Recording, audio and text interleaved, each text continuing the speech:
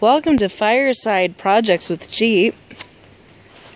I'm taking a little bit of break here from cutting the wood, but what I want to show is uh, this here is a colander uh, utensil from IKEA. It holds the utensils, that type of thing. Uh, those of you that saw the uh, Arkies, she did a review on this. I made one of them for her. I actually learned this from Karen Cheney, I believe is last name. I'm sorry if I mess that up. I actually learned it off her page, and I thank you very much and want to give all the credit to her because um, that's where I learned it from. But what it is is we're going to actually I'm going to mark it out here. Draw um, where I'm going to mark in between here, and then I'll cut it out and make an opening to create the side access door that I want to add wood to and this is a hobo stove and then when we get to that point I'll show you uh, adding the bolts and how to make the stand for it and then the extra little kit that I uh, got to go along with it keeping the bug out uh, back. But so I gave uh, Arky mine, and she's going to use it at her homestead there. So I'm going to go ahead here and cut this out, make another one here, and show you how I did it. So I'll be right here. So what I'll do is I'll go ahead here and uh, start cutting this.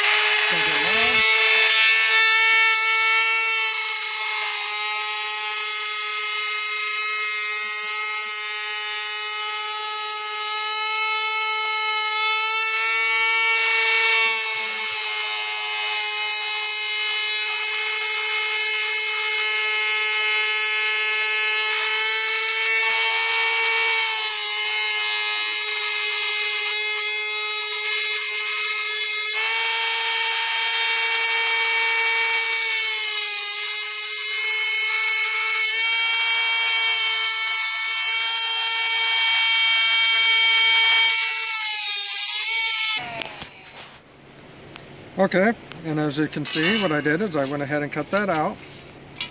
That will become the feed chamber there, the, this piece here. But now what I'm going to do is go ahead and pause the camera here in a second, and then I'm going to change tips, and I'm actually going to use the grinding wheel here, and I'm going to grind that smooth and make it where it's not so sharp. So I'll be right back with you. Okay, I changed the tips on here, so I'm just going to go ahead and smooth this out and make it nice and clean here. This takes a few minutes.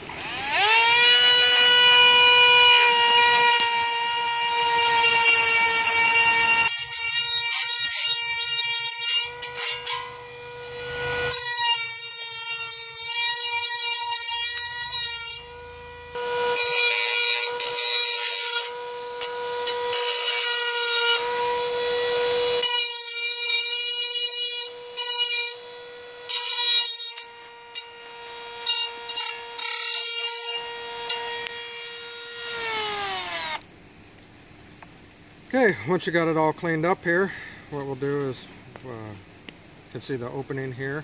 Will actually sit like this. So what we're going to do is we're going to add some bolts in there so it actually comes up off the ground here. So what we'll do here is I got Why do you want it off the ground? So the air gets underneath it. and allows the draft to come up underneath. It's got holes in the bottom already. So what I've done is I got a couple bolts here. And what I do is I just start one about like this and I put it into the bottom, into the corner, and then start the bolt itself in there. As most of the time you're going to be doing this in some type of rubbish or something, and so by creating a block here, it will get it up off the ground here. So I'll go ahead and get these on and tighten them down and I'll show you. Okay. So what I'm doing here is just got one more to go here. And I'll be the one that doesn't pay. Makes it hard for him. no, I just had to get the outside wrench on there. And then you just tighten these all down. And because they're against each other, with the metal in between, they self-tighten each other. You don't need locking nuts or washers or anything like that. Okay. And so what it does is it created four legs here. By doing so, you can put it on the ground there, fill it up with your items, and then go ahead and have yourself a hobo stove. Go ahead and pause. What else? What else we got went ahead, went ahead and got was the uh, children's set of the IKEA pots and pans. So, on this, say there, it's going to be the wok, the frying pan.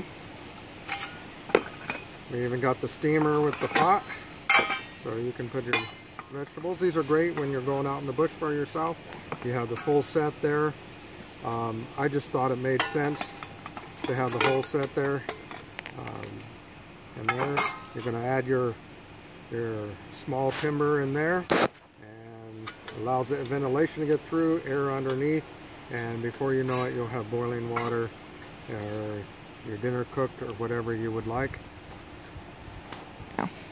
What we also got was the trivet uh, from IKEA that can actually go on top of it. If you have a larger pan or if your, your frying pan can also go up on top of that, get a little more flame. Uh, also, if you're cooking sausages or hot dogs or something, you can actually just put that right on top of the, and this is the IKEA trivet. Um, normally put it on the counter and let the hot pan sit on it so it doesn't burn the countertop but it also fits quite well on there. Uh, all of this is stainless steel, so it's nice uh, for your outdoor use. Um, this is just goes in our bug out bag um, to carry out. If we ever go outside the off-grid Jeep, we have something extra there just uh, for the bush there. So I just want to share that with you and the construction of it.